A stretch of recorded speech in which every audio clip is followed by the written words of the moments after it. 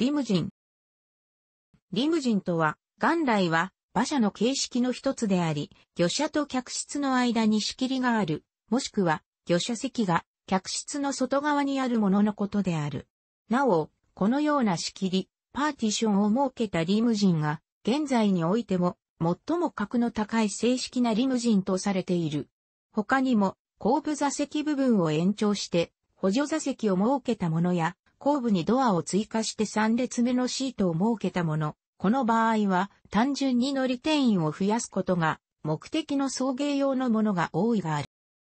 全長を伸ばすことは単に乗車定員を増やすことだけが目的ではなく、送迎用のリムジンを除くロングホイールベースによる揺れの減少が主目的であり、さらに後部座席の足元のスペースの拡大や、テレビモニターやカクテルキャビネットの設置などの居住性、各種設備の充実を図ること、応接室下に主眼が置かれるが、トランクスペースを改造して、ジャジバスにするなどの変わり種もある。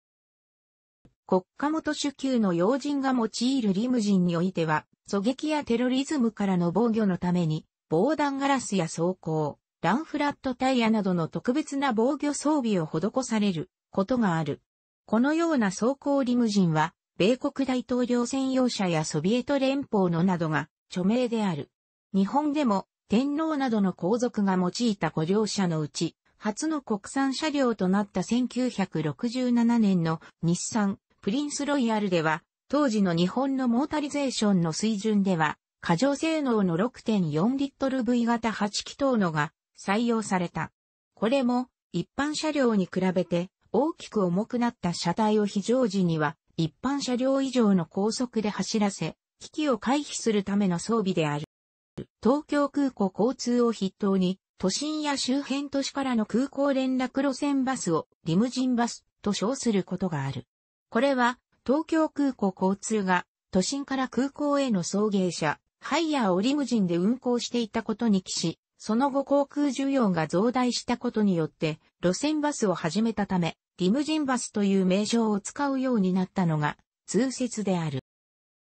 リムジンは一般的にはボディ加工の専門的な技術を持つコーチビルダーが、既存の市販高級車のボディを改造し、キャビンを延長したストレッチリムジンを指すが、一部には自動車メーカーが最初からリムジン専用ボディを製造し、リムジンとして工場出荷される車体もある。こうした自動車メーカー近世のリムジンはと呼ばれ、ストレッチリムジンとは明確に区別されている。リムジンの営業免許は基本的に小型貸切旅客運送業免許で各州の関連法により差はあるが、運行には事前予約と貸切、小型、15名以下の条件がつく。タクシー、一般や空港シャトル、乗り合いホテル送迎、自家用とは業務免許が違うので、流しや根菜は違法行為になり、空港や観光地などで客引きをしているようなリムジンは、正式な運行許可もなく、業務保険にも加入していない可能性がある。ラスベガスやロサンゼルスなどでよく見かける、ホテルに待機しているリムジンは、予約なくその場で利用が可能な場合が多いが、ホテルと事前予約、待機を済ませていることが多く、運行業務要件を満たしている。大抵の場合、ドライバーと客の直接交渉ではなく、ホテルのコンシェルジェやドアマンなどが間に入る顧客からリムジンへ直接料金を支払っても、運行免許上の問いはない。ハマーなど大型のリムジンは、書類上は貸切バスに分類されるが、あくまで運営者側の業務免許や業務保険上の違いであり、大手のリムジン会社は一社で、黒塗りセダンからストレッチリムジ、バス、パーティバスやリモバスと呼ばれるまで所有していることも多い。ほぼすべての州の道交法は運転者のみならず同乗者が車内で飲酒することや、種類の車載を禁止しているが、トランク内積載や封を開けていない種類はか、リムジン車内はこの法の適用免除になっている。自動車の形状に関わらず、旅客運送業免許者が運営する自動車の車内。レンタカーやホテル所有の送迎車の車内での飲酒は違法。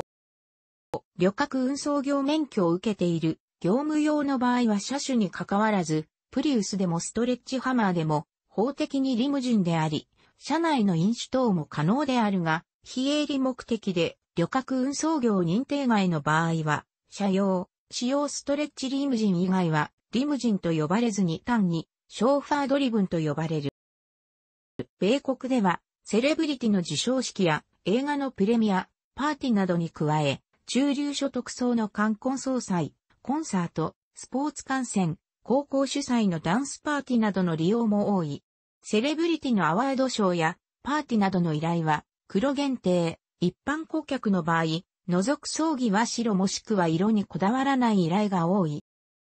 ストレッチリムジンでもトランク部分までは、ストレッチ、拡張されておらず、ベースとなったセダンと同じサイズであり、トランクにはすでにクーラーボックスなどが収納されている場合も、沢野でストレッチリムジンは4人以上、スーツケース4つ以上での空港送迎には適していない、拡張された車室内に荷物を置くことはできる。セレブリティなどが家族での空港送迎でリムジンを利用する場合は、同時に荷物車、SUV などを手配するが、多くはビジネスジェットを利用することが多いので、リムジンは飛行機ドアに横付け、荷物車は機体後部荷物ドアに横付けする。日本におけるリムジンの営業免許は国土交通省及び営業しようとする各地域の運輸局長からの許可を得ている必要がある。これは道路運送車両法の旅客自動車運送事業という許認可であり、営業方法等によりの上記4種類の事業免許に分類される。